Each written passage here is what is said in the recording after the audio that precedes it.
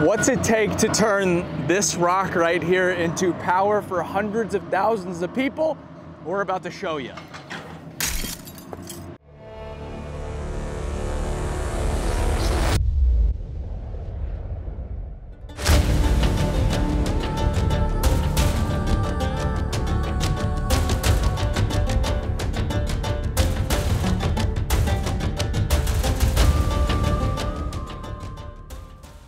Welcome to the Attarat Mine, located south of Amman, Jordan's capital city. We're visiting today with Near East Equipment, Jordan's premier Komatsu dealership. Now, what the heck is oil shale? Well, it's just as it sounds rock with oil inside of it. Thanks to its high energy content, Attarat Mining Company can mine it and transform it into energy within a nearby 470 megawatt power plant. Now let's head into the mine to see it up close.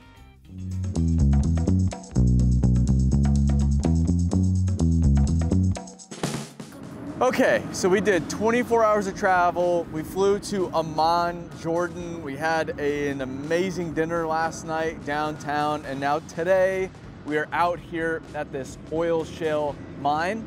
Our own BCM and uh, AMCO are the companies that operate this operation here. And this is the good stuff. It's oil shale, so it's essentially this rock with oil mixed into it. They're mining it with these loaders like that Komatsu WA900. They're hauling it to a primary crusher. They're crushing it, conveying it to the plant, and then they're burning it for power. This entire operation is responsible for 15% of Jordan's power, so it's extremely valuable stuff. It's very, very cool because it's also lightweight, similar to coal. So all of the truck bodies are built up and I think at most, these are 100 ton trucks. They're getting between 70, 80 tons a load. So not even close to overloading these trucks. Pretty sweet. So we're gonna check out this whole operation today.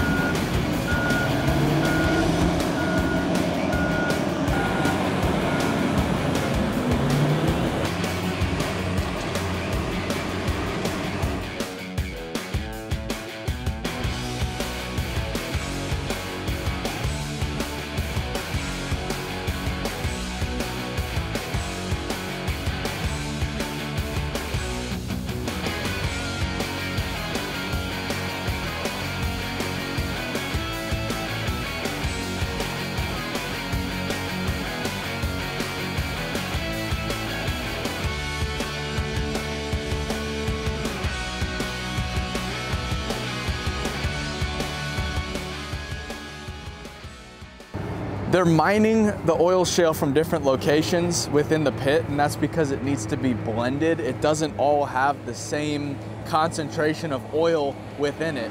And so they're pulling a little bit from here, pulling a little bit from there, and sending all these trucks up to a stockpile and to the crushers so that they're mixing this material while they're crushing it and sending it to the plant so that when it arrives at the plant, it's at least more consistent and so that it can burn consistently and produce power consistently. Just one more fun fact. All of the machines are equipped with additional cooling packages because during the summer, on this black material gets so hot that the machines without the cooling will overheat. After a spectacular morning watching WA900s load trucks, we headed to the shop for a closer look. Because the oil shale is lighter in weight, they want to try to add as much to that body as they can so they can fit as much material in there as possible because they can't overload the truck no matter, no matter how much they put in there. So they've built it up, not just uh, one 20 meters, 20 centimeter section, but two 20 meter sections. So it gives it uh, over a foot for you Imperial folks, a foot more on the side of the bed to fit as much of that oil shale in there as possible.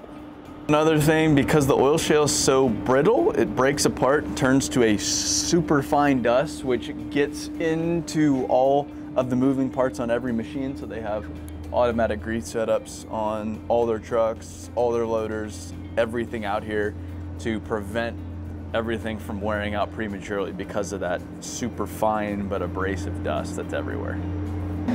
This is one of three WA900s they have loading the oil shale. This is a 13 cubic meter bucket. For you Imperial folks, we'll put the conversion up on the screen here. Uh, right above me, you'll see two GPS antennas. That doesn't just help the loader position itself, but it actually has machine control.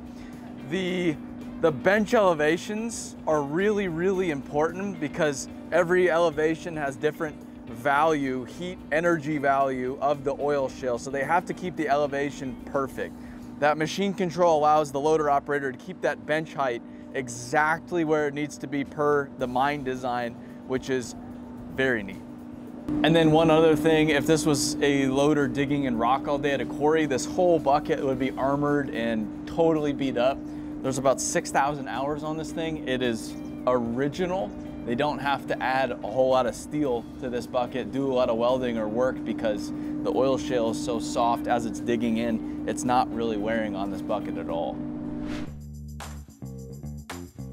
Back to the mine. Earlier, we checked out the actual oil shale mining, but now for the overburden operation. Yep, you saw that right. Three 60-30 front shovels working together on the same bench. I have never seen anything like it.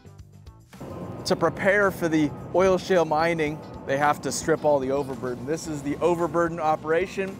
There are three 60-30 shovels all loading simultaneously, which is pretty surreal to see three front shovels all on the same bench loading 100-ton trucks. They're hauling the overburden out of here. They're cutting this down a few levels to get to that oil shale. Beautiful.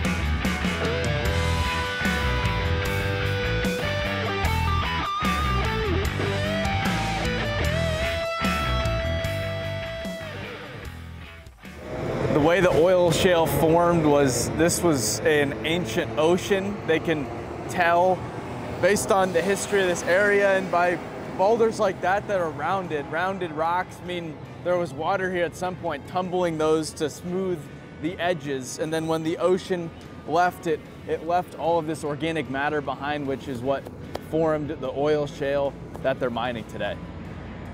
We're here at Overlook looking out over the mine right now. And you can see at the bottom, the two bottom layers are dark black, gray. That's the oil shale, that's the good stuff. Everything above that, the lighter brown, is the overburden that they're stripping with the front shovels we just saw down to that oil shale. They're blasting all of that oil shale. Those PC850 excavators are pulling at that wall to to break down that wall and get the bigger boulders out. And then those WA900s are loading the 100 ton trucks, hauling right to the crusher. So you can see from here all, all of the mine and then where exactly the oil shale is versus the overburden. It's really nice.